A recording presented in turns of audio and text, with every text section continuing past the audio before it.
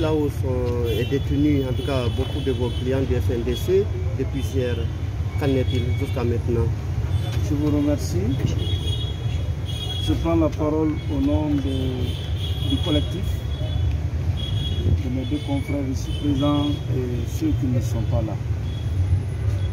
Nous sommes à mi-parcours dans cette affaire.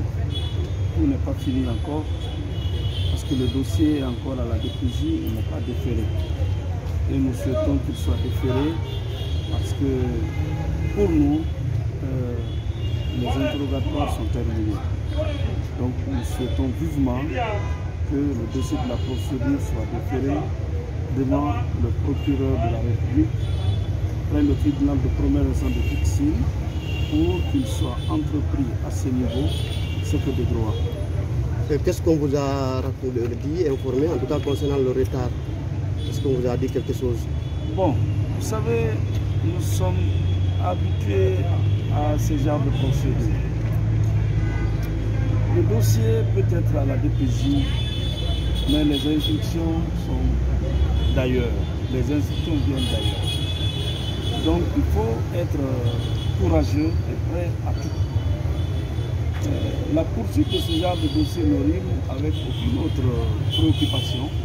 Si vous remarquez, depuis hier à 15h, pratiquement nous n'avons pu rien faire. Nous sommes derrière nos clients ici, à la DPJ.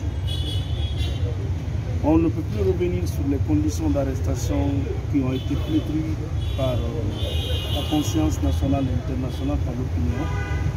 Personne ne peut accepter que ces méthodes rétrogrades soient utilisées pour faire venir un citoyen devant un officier de police judiciaire qu'on a pris à Lola. Ça, c'est à dénoncer et à condamner avec la dernière énergie.